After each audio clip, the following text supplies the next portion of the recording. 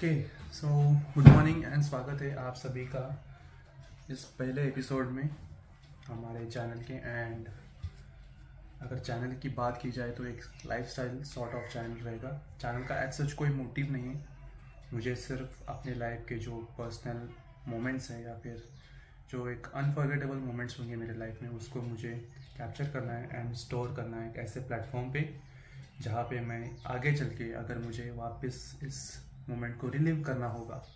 तो मैं देख सकूँ and YouTube is the one of the best platform to store those kind of videos so यही है, यही डिस्क्लेमर है एंड इस चैनल के जो मेन कंटेंट रहेगा वो फिटनेस रिलेटेड होगा एंड फिटनेस में एक ऐसे फिटनेस के बारे में जहाँ पे मोस्ट ऑफ़ दी डाइट जो होगी वो वेजिटेरियन होगी, क्योंकि मैं एक प्योर वेजिटेरियन इंसान हूँ and sort of six feet height and vegetarian diet plus natural body builder अगर बात की जाए तो बहुत हार्ड होता है। अगर आप किसी से भी पूछो तो तो मेरे लिए एक चैलेंज रहेगा, मेरे लिए एक टास्क रहेगा to build decent physique with this kind of terms and conditions so मेरे लिए एक चैलेंज रहेगा मेंटली प्लस फिजिकली एंड मुझे वो गोल अचीव करना है एंड आज उसका पहला दिन होगा।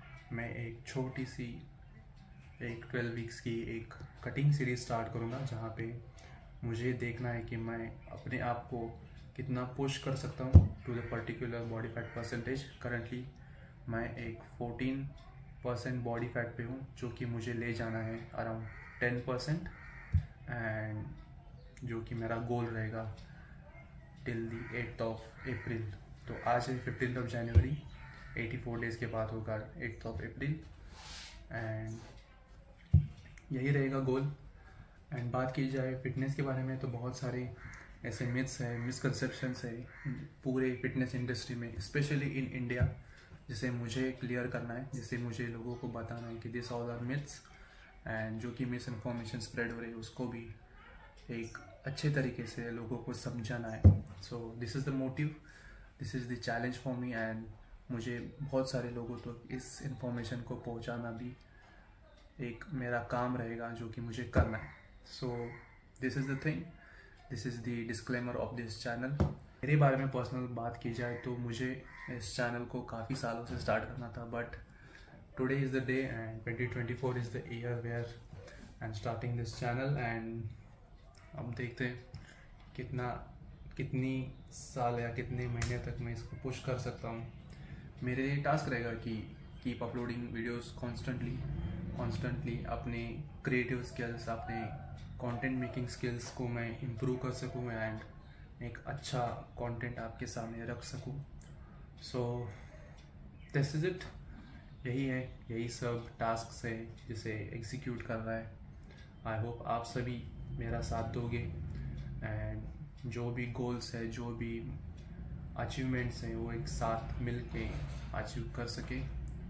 I hope you are with me and I hope you gonna support me as well अगर आज के दिन की बात की जाए तो हमने सुबह मॉर्निंग कार्डियो कंप्लीट किया, जो कि था ट्वेल्व थाउज़ेंड स्टेप्स कंप्लीट नहीं बोल सकते, क्योंकि टारगेट है फिफ्टीन थाउज़ेंड थ्री थाउज़ेंड अभी भी बचे हैं, जो कि शाम को कंप्लीट करेंगे बिफोर दी वर्कआउट एंड शाम को भी वर्कआउट करना चाह रहे हैं, जो कि होगा चेस्ट एंड शोल्डर्स सो उसके बारे में भी मैं आपको एक सिनेमेटिक स्टाइल में आपको बताऊँगा एंड उसका जो डिस्क्रिप्शन होगा मैं बाद में आपको समझाऊँगा कि मेरे वर्कआउट में क्या क्या चीज़ें इन्वॉल्व है मैं क्या क्या करता हूँ। प्लस मेरी जो डाइट की अपडेट होगी वो मैं आपको दे दूँगा जो कि एक प्योर वेजिटेरियन डाइट होगी। सो so, यही था। This is the information about the today's day and this is the description यही बताना चाहते थे। इसी के साथ अभी पढ़ाई करेंगे उसके बाद अपने जो डाइट है वो लेंगे, बाद में शाम को वर्कआउट करने जाएँगे। So this is the day I hope आपको पसंद आएगा। So sit back relax and enjoy the journey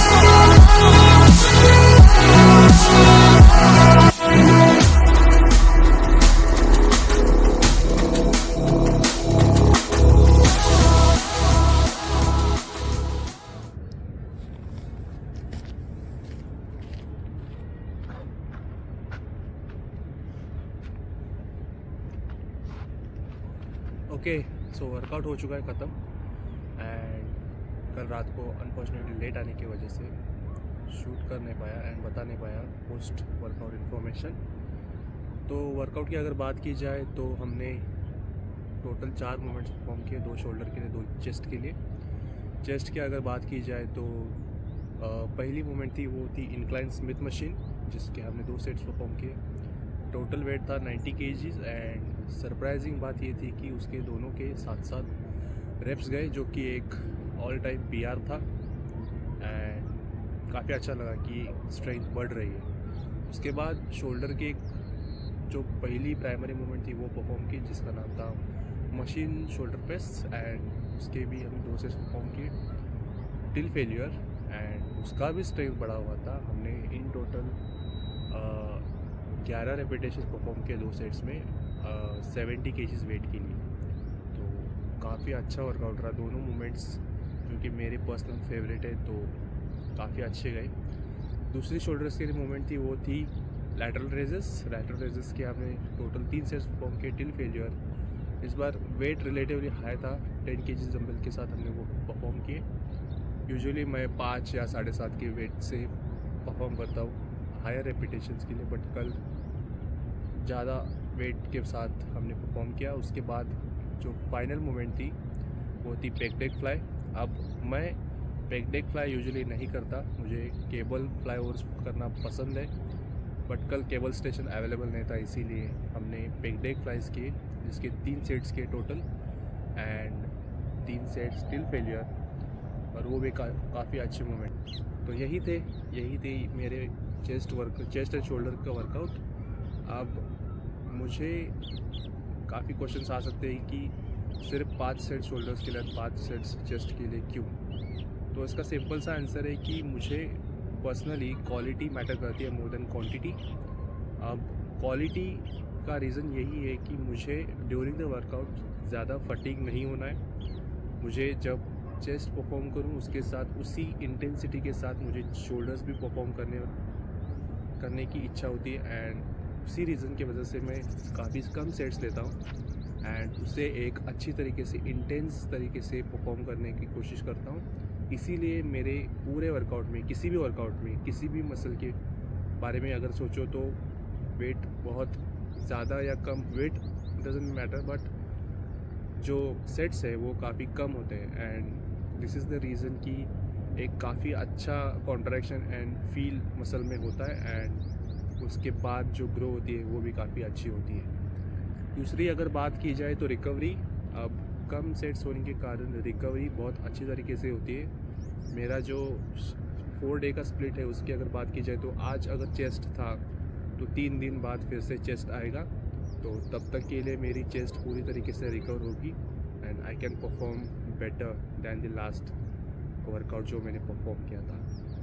तो ये रहा ये दूसरा reason and third reason overall fatigue अगर we are natural body builders so अगर ओवरऑल फटीक की बात की जाए तो टोटल जो वर्कआउट का वॉल्यूम होता है वो काफ़ी मैटर करता है एंड अगर वो अच्छी तरीके से मेंटेन की जाए तो आपका जो अगला वर्कआउट होगा या फिर ओवरऑल डे का जो आपका रूटीन होगा वो भी काफ़ी अच्छे तरीके से जाएगा। अगर आप ज़्यादा वॉल्यूम या ज़्यादा वेट्स या फिर टोटल ओवरऑल वॉल्यूम अगर आपका ज़्यादा हो तो आप अच्छी तरीके से ओवरऑल आपकी परफॉर्मेंस नहीं रहती। So this is the reason मैं काफ़ी कम सेट्स परफॉर्म करता हूँ एंड उसे एक अच्छी तरीके से परफॉर्म करने की कोशिश करता हूँ, जो कि एक कॉन्ट्रैक्टेड मोमेंट या फिर कंट्रोल्ड मोमेंट जिसे आप कह सकते हैं एंड टिल फेलियर परफॉर्म करने की बहुत बार कोशिश करता हूँ। सो दिस इज़ इट ये रहा वर्कआउट एंड ये रहा मेरी पोस्ट वर्कआउट इन्फॉर्मेशन तो इसी के साथ आज का वीडियो ख़त्म होता है। अगर वीडियो पसंद आए तो लाइक कर देना। किसी भी एक दोस्त के साथ शेयर कर देना। मैं मिलूँगा आपको अगले वीडियो में। Till then good bye